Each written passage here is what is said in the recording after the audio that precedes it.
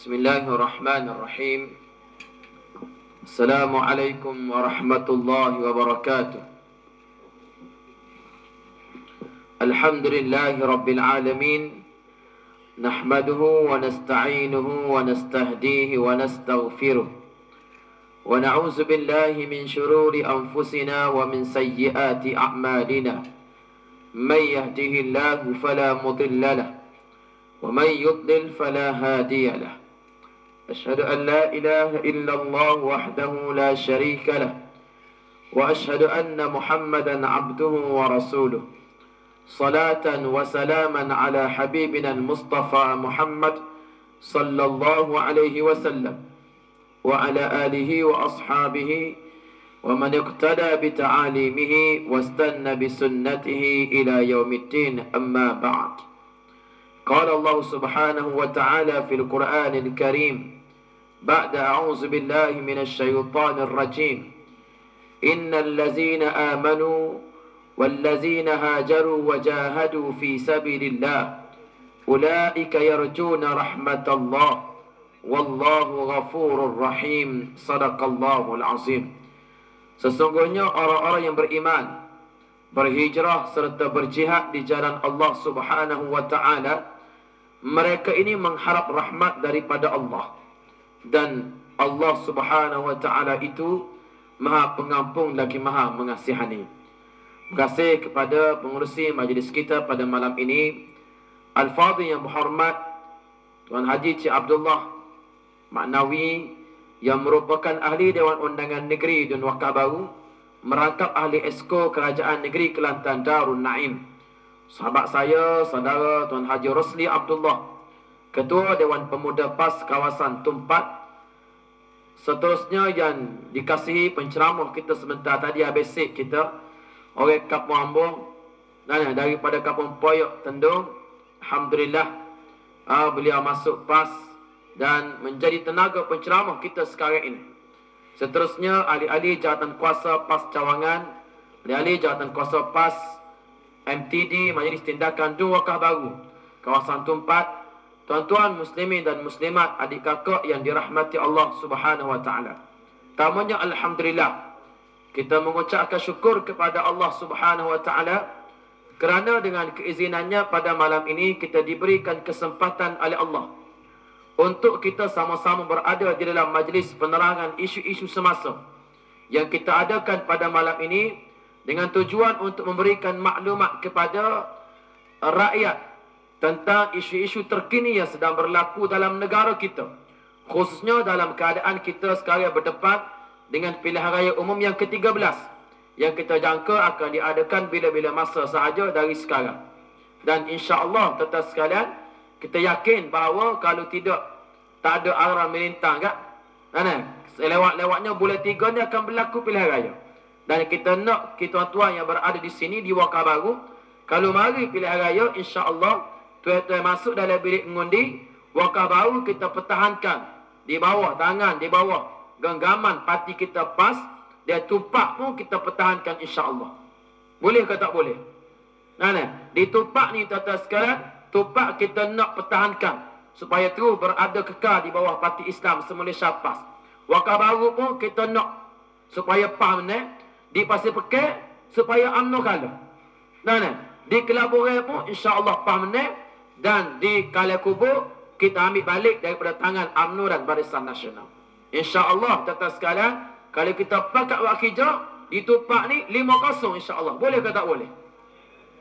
Mana bunyi slow boleh ni. Boleh ke tak boleh? Ha, tuan-tuan dirahmati Allah Subhanahu wa taala. Amal ambil sempurna kita pada malam ini kita berada di dalam bulan Muharram. Tak lama lagi kita akan menyambut hari Ashura. Nabi wasallam mengajar kita bila tibanya hari Ashura, Nabi ajar kita supaya berpuasa sunat. Dalam satu hadis Nabi wasallam menyatakan, "Siyamu yaumu Ashura ahtasibu 'ala Allah an yukaffira lahu sanatan madiyah." puasa pada hari Ashura yakni 10 Muharram ini aku mengharapkan daripada Allah supaya diampunkan dosa setahun yang sudah pun berlalu. Kenapa puasa pada hari Ashura ini sangat-sangat digalakkan oleh Nabi sallallahu alaihi wasallam?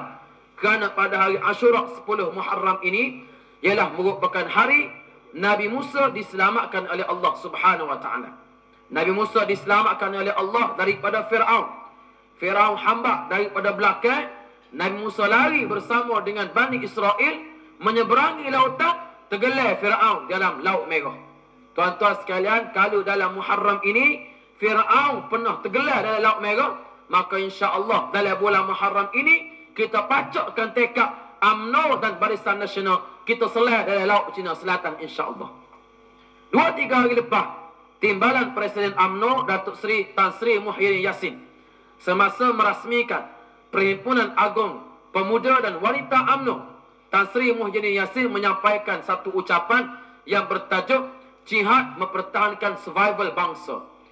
Kata Muhyiddin Yassin, perjuangan UMNO ni jihad. Jaya kepada UMNO-UMNO ni jihad. Nah, nah. Berjuang dalam UMNO ni jihad ke tak? UMNO Muhyiddin Yassin menyatakan bahawa perjuangan UMNO ni jihad. Tuan-tuan sekalian, belai-belai UMNO duk kata jihad. Jihad. Oh, kononnya nak berjihad. Muhyiddin Yassin kata bahawa perjuangan UMNO ni jihad.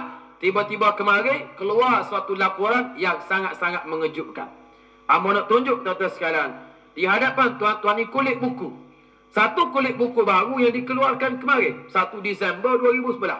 Namanya Transparency International yang dikeluarkan oleh Transparency, Internet, Transparency International yang bertajuk Corruption Perception Index 2011 2011.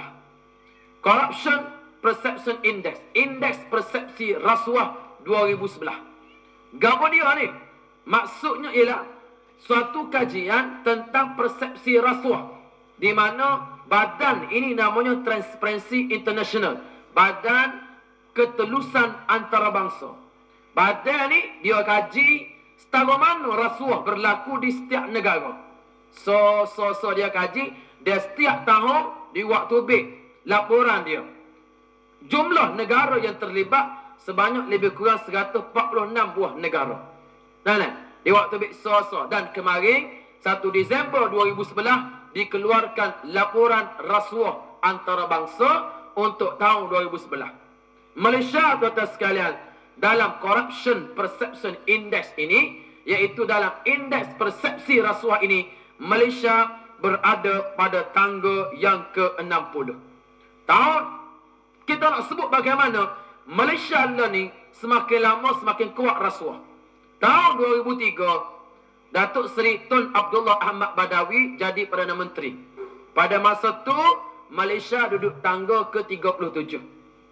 Datuk apa nama Tun Abdullah Badawi melancarkan Islam Hadari. Ingat kata ingat ni Islam Hadari ni. Bila-bila lancar Islam Hadari, tahun 2005 Malaysia naik ke tangga 39. Kau tak kau jatuh. Nah, nah, kau jatuh. Tahun 2007 naik lagi ke tangga 43. Kau naik ke tangga 43. Tahun 2010, Datuk Seri Najib Tun Razak menjadi Perdana Menteri melancarkan satu Malaysia, Malaysia turun ke tangga 56. Mana? Kau naik, rasuah ni kau naik. Dia kalau nombor ni kau banyak, artinya rasuah ni kau naik. Kalau nombor satu yang paling tidak ada rasuah di dunia ini ialah New Zealand. Mana? Malaysia duduk tangga ke-56 dan tahun 2011 turun naik lagi ke tangga 60. Maknanya apa dia? Maknanya kau lama kau kuat rasuah di Malaysia. Bila-bila Muhyiddin Yassin kata kita nak lancarkan jihad untuk nak lawan PAS, nak lawan Pakatan Rakyat, tiba-tiba corruption ataupun indeks persepsi rasuah di Malaysia jatuh ke tangga 60. Dan tuan-tuan sekalian, rasuah yang berlaku di Malaysia untuk tahun 2011 ini sepanjang 10 tahun kebelakangan ini, inilah yang paling terburuk. Berat rasuah ni. Nah, nah. Lepas tu, tiba-tiba UMNO kata nak lancarkan jihad. Muhyiddin Yassin kata nak lancarkan jihad. Mari Najib Turazak bentang menyampaikan ucapan di perhimpunan